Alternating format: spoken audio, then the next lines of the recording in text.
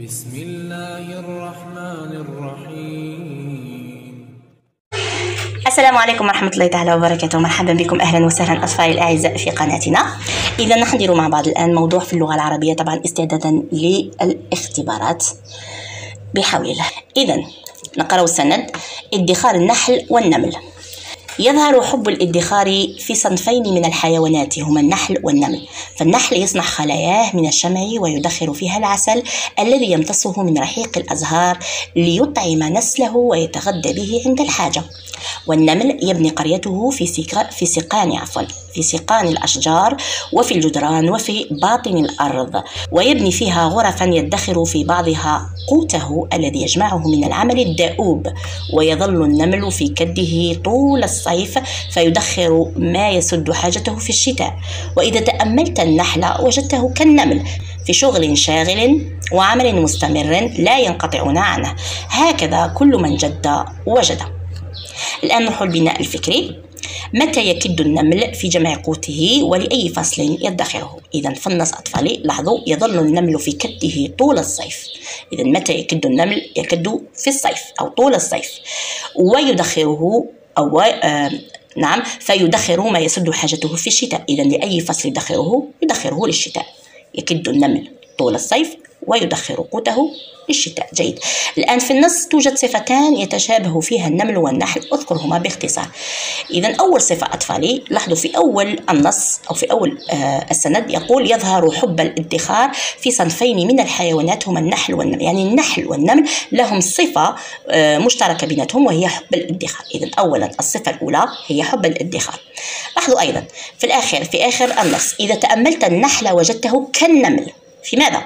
في شغل شاغل وعمل مستمر لا ينقطعون عنه. إذا يعملون باستمرار. يعملون باستمرار. إذا يكدون ويعملون باستمرار. إذا هذه هما الصفتان المشتركة بين قلنا الصفة الأولى حب الادخار الصفة الثانية العمل باستمرار. جيدا. هات مرادف الكلمة نسله ثم وظفها في جملة من إنشائك. إذا النسل لاحظوا هنا ليطعم نسله ويتغذى به عند الحاجة. إذا النسل يعني أطفاله.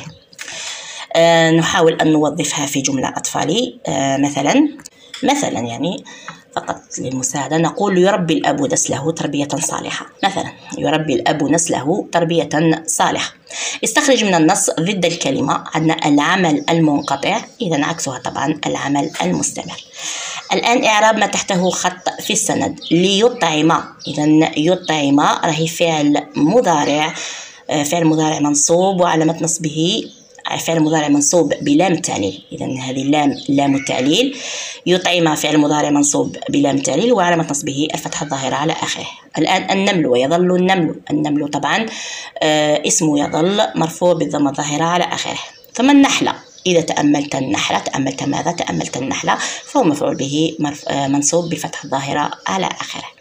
الآن تحويل حول أو حول الجملة التي بين قوسين في السند إلى الجمع ليطعم نسله ويتغذى به عند الحاجة. إذا ليطعموا حذف النون طبعا لأنه من الأفعال الخمسة ليطعموا نسلهم ويتغذوا به عند الحاجة.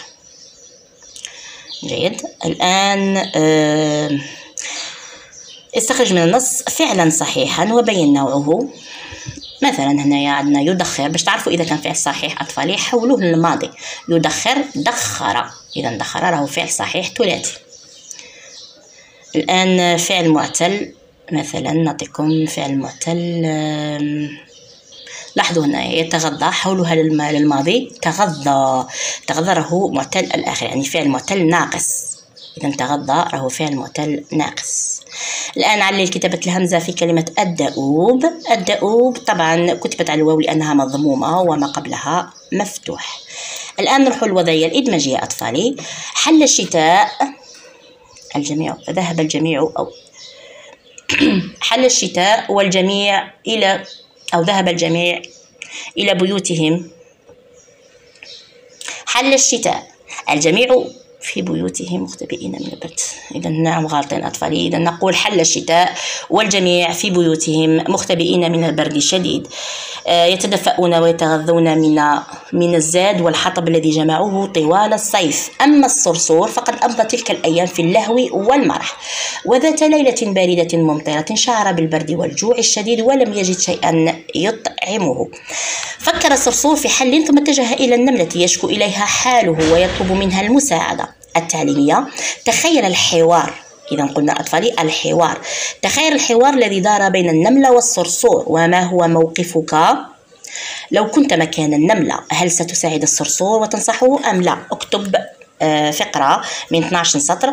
يعني اكتب هذا الحوار واذكر موقفك اتجاه الصرصور مع إعطاء الحجج والبراهين الكافية. طبعا نكتب الحوار أطفالي. في الآخر نكتب يعني جملتين آه، يعني جملة أو جملتين نبين فيها الموقف تاعنا تجاه الصرصور.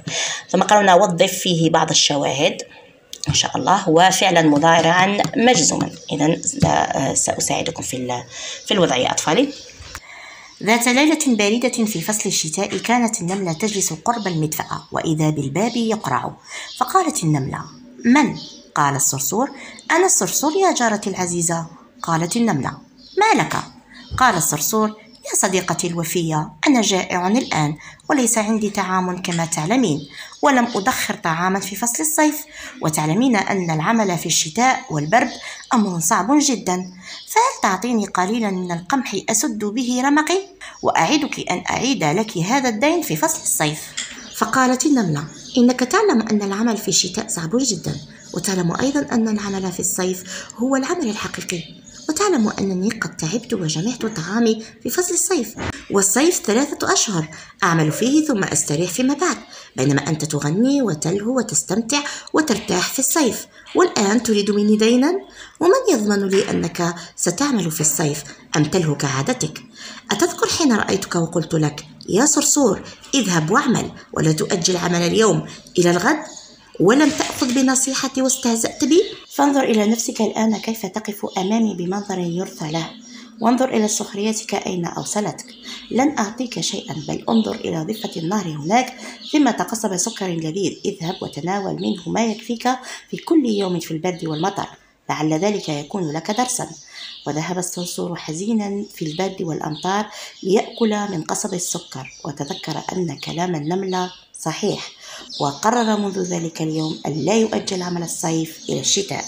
وفعلا كان تصرف النملة حكيم وعلمت الصرصور أن يتصرف بعقل في الأمور المصيرية فلو أشفقت عليه وأعطته طعاما يكفيه في فصل الشتاء لبقي طوال حياته يلعب صيفا ويطلب الطعام من النملة شتاء.